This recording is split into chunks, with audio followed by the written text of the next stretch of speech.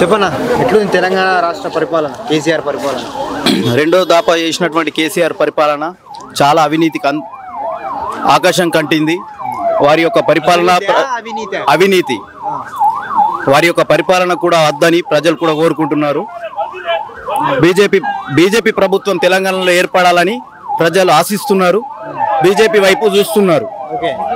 ఇప్పుడు పసుపోటు ఇచ్చిన ఎట్లా చూస్తారు పసుబోడు రైతులకు నిజామాబాద్ డిస్టిక్లో పసుబోడు రావడం వల్ల చుట్టూన్న ఆదిలాబాద్ కరీంనగర్ లాంటి లాంటి జిల్లాలకు కూడా వారికి మంచి సౌకర్యవంతంగా ఉంటుంది పసుపు రైతులకు.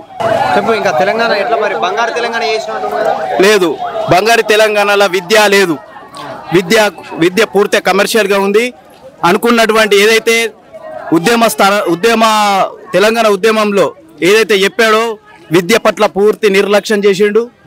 ఆరోగ్య స్థితిలో ఏంటంటే ఆరోగ్యాన్ని కూడా పూర్తి నిర్లక్ష్యం చేసిండు. ఉచిత ఆరోగ్యం అందించవలసినటువంటి స్థానంలో పూర్తిగా కమర్షియల్గా మారిపోయింది. మొత్తము ఎవరైనా చిన్న ట్రీట్మెంట్ చేయించుకుందామంటే వెయ్యిలల్లో పైసలు అవుతున్నాయి ప్రతి పల్లెటూరు డెంగ్యూతోని మలేరియాతోని టైఫాయిడ్లతోని హాస్పిటల్లల్లో వెయ్యిలకు వేలు పెట్టుకోవాల్సి వస్తున్నది. ప్రజలు పేదరికంలోకి నెట్టుకోబడుతున్నారు.